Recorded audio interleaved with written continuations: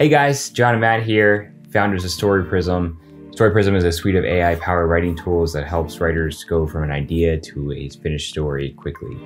We are here doing a video on our Story Foundation tool. Last time we went through our character builder and um, mashed up Goofy with the Unabomber and kind of created the uh, the horrible child of, of, the, of those two mashups. It was really fun. And so now we're going to go through and create um, the foundation for a story from scratch. And we're going to be using very famous character Ernest P. Worrell as, as, our, as our foundation. If you guys aren't familiar with the Ernest movies from the 90s, Ernest P. Worrell was a, was a classic slapstick character played by Jim Varney. Developed around the 80s, and uh, they made about 11 movies throughout the 90s. It's a classic movie from our childhood that we really love and adore. So we're going to be uh, honoring Jim Varney's legacy by creating the foundations for a brand new Ernest movie. The Story Foundation allows you to create two end deliverables that are pretty important for writers, and that is a logline and a central message. A logline is just a one sentence description that really paints the dramatic narrative for your piece. And while this isn't something that you know you would necessarily deliver to a producer or director or anything like that, um, it is a wonderful exercise as a starting point for your story because it can really help you kind of get the key points for your first and second act um, in a way that really hooks the reader into wanting to see more of it. So it can really kind of help you conceptualize the basic building blocks for your story. And Story Prism's AI uses um, the log line and the central message and everything that you've created in the very first tool throughout the process of, of developing your story. So it's very important to spend a lot of time in the foundation, really thinking about who your character is, their journey, and getting that right, because that's going to be the, the basis and the foundation for how the AI learns about your story. And it all starts here with the very first box, describe your main character. Now, we've we found that it, the the AI really loves two things in this, and that is who the character is before the opportunity comes into their lives and what the situation is.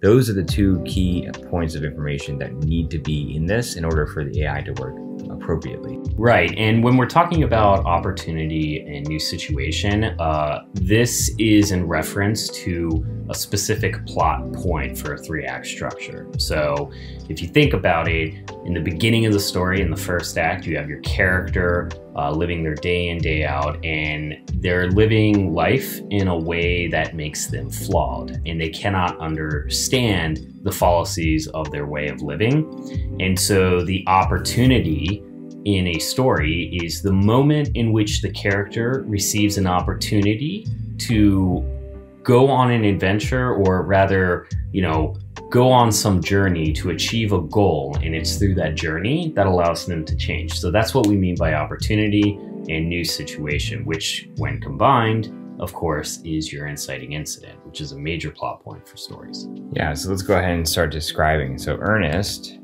works as a groundskeeper at a college. Um, he's what did you say? Well, let's describe Ernest. He's dim-witted. Yeah, he's certainly dim-witted. Dim-witted, uh, naive. Uh, thinks he's better than he is. Than he is. Uh, know-it-all. Um, well, that's the same. Yeah, yeah, yeah. Um, but uh, has a has a big heart. And, uh, and and is well liked by the staff.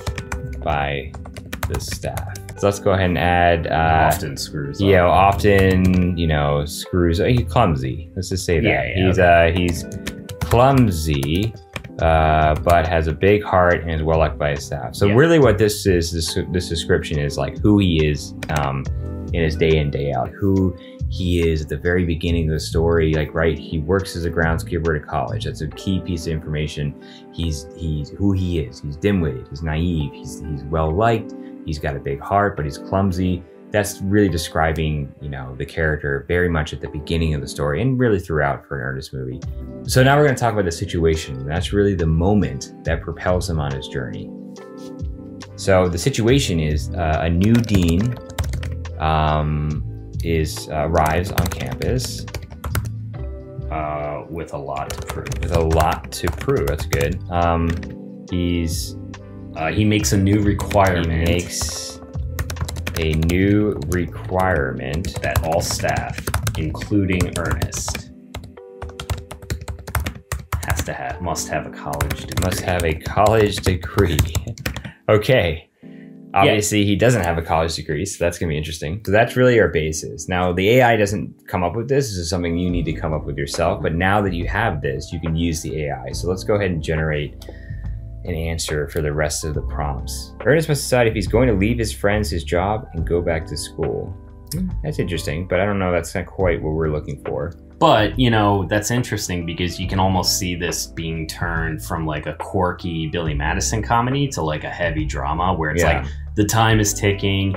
He's got 90 days Yeah. to leave or whatever, and he doesn't know what to do. Right. And maybe this movie is what happens in that span of Yeah. 90 days where, you know, he has to, uh, you know, figure out his life. So it could be like a sort of coming of age with Ernest. Yeah, I like this. Okay, Ernest must navigate the halls of the university, navigate the politics of academia, navigate the halls of his own dorm room to secure his degree in three weeks. That's interesting. Yeah, that's actually very interesting, and it's very similar to kind of what we were naturally thinking just based off of the description, Yeah. right? I mean, it's very obvious that his primary mission is to get a college degree to secure his job. So Right. something that can get in that ballpark range is that that's really good. All right, I like that. So let's let's keep this. Yeah. And then uh, let's generate the next one. So who are they up against? That's pretty obvious. He's up against the dean and his cronies. The dean who wants to prove he's tough. Sure. Great, perfect. That's that's exactly what it is. And what's at stake? Really, his job. Ernest.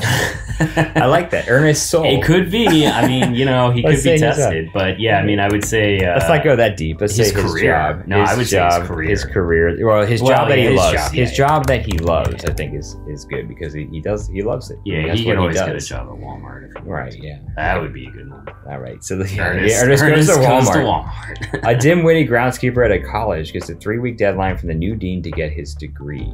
Yeah, That's that's actually actually, pretty good. I like that, yeah. It- you know, and one thing we noticed too with this logline generator is that it doesn't necessarily like fill the whole thing out, but it gives you that great starting point, and then you could just finish it. You know, Yeah. right? Yeah. So let, let, us go ahead and finish this. Um, A dim-witted groundskeeper out of college gets a three-week deadline from the new dean to get his degree. Otherwise, he will lose his job.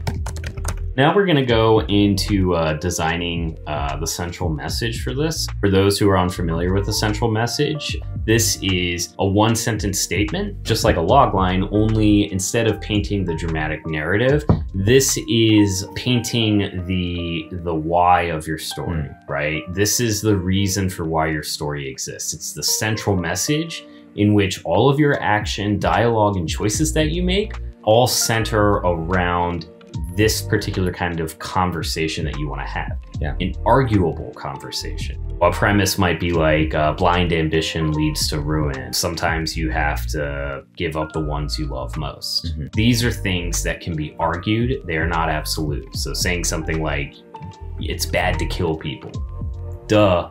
Nobody can really argue against that. Right. So that's a bad premise. So what this does is it helps you design that arguable uh, statement, which you can basically use as your North Star Mhm. uh, for deciding all of those meticulous choices that need to be made. So when you're designing a central message, typically what you would do is you would come up with a belief, a moral belief, an outlook that your protagonist has about the world, which is flawed. This is a belief that exists in the beginning of the story and is something that the protagonist embodies, right? And then what you do is you want to really figure out what the antagonist believes about the world, which is typically the opposite of what the protagonist believes. And then to design your central message, you synthesize these two beliefs into a, a higher belief, right? Mm. And the reason why you do that is because stories are about growth in characters, right? So you want your main character ideally to grow, or at least your audience to understand how they need to grow, right? And, you know, a good story also has an antagonist that grows alongside. Mm-hmm. And so this can really sort of help you shape a blueprint design for how those characters change because now you're seeing what the character is like at the beginning and then what they ultimately learn uh, through their interactions and clashing with the antagonist and their beliefs about the world. Yeah. And that's exactly what this is. Absolutely. So let's go ahead and see what the AI can come up with. All right, so we got our first one here. Uh, the AI came up with he believes that people are perfect the way they are. This is this is pretty good, and that really kind of embodies Ernest, right? The, the character, and if you think of him as you know the fool archetype, you know he's the guy who will just go and do something without thinking about it, and he'll just you know completely act blindly. And um, that's what makes him enduring and he'll get in all kinds of trouble. And that's really where the humor comes in. And then the the antagonist needs to be the opposite of that. So Yeah, let's go ahead and see what the ai can come up with.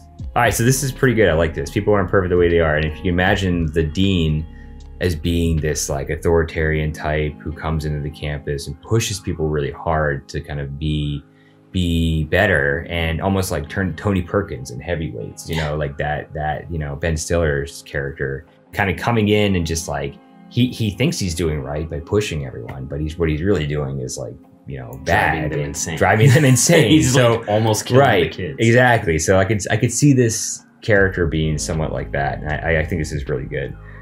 Um, okay, So so, let's let's, see yeah, let's see the synthesis of this. Let's see the the, the higher message. Looks like we came up actually with a really great one. So this says people are perfect the way they are, but they can always become better.